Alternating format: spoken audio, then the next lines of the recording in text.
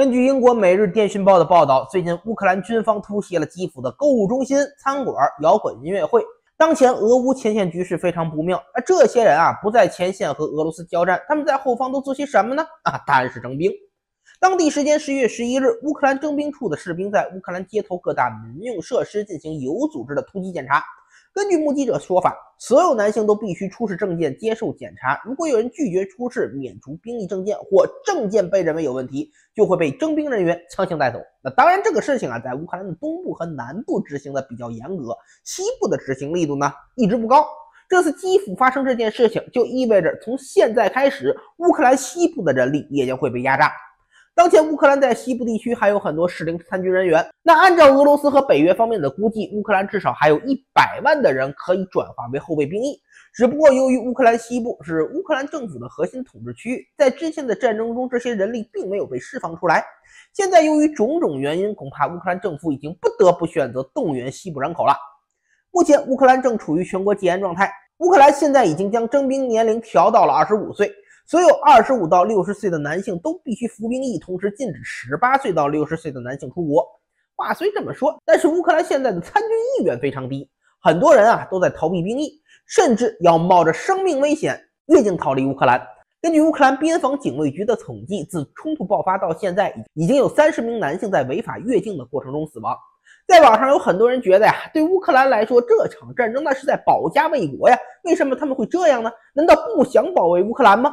主要原因有两个，第一个，战场非常残酷，而且看不到胜利希望。之前乌克兰攻击库尔斯克，看上去好像打出来了一场漂亮的反击，但战线可不会骗人啊！乌克兰可以趁着俄罗斯不注意的时候偷一下，但硬实力不足，让他们无法保住得到的战果。目前乌克兰军队已经逐步撤出俄罗斯啊，撤不回来的基本上就是被俄罗斯围歼了。而总的来说，他们已经没有在战场上战胜俄罗斯的可能性。乌克兰平民也不傻，当然能看到战线变化。第二个原因是乌克兰政府极端压榨士兵啊，这个压榨是字面意义的压榨。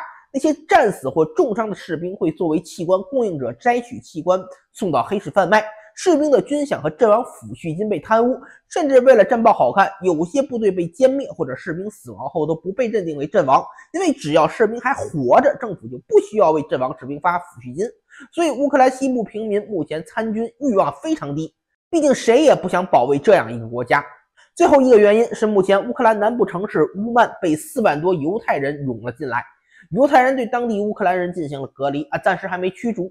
之所以他们行动的这么轻松，主要是因为当地适龄男性都已经作为炮灰扔到战场上了，留在城市里的基本是老弱妇孺，根本没人保护。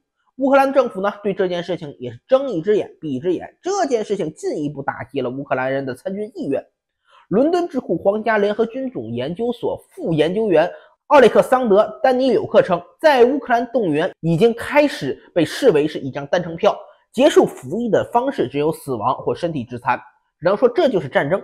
当一个国家进行军事总动员的时候，就由不得任何人来改变了，除非战争结束，否则这件事情根本停不下来。只能说，现在乌克兰的行动很符合他们宣传的“战斗到最后一个乌克兰人”。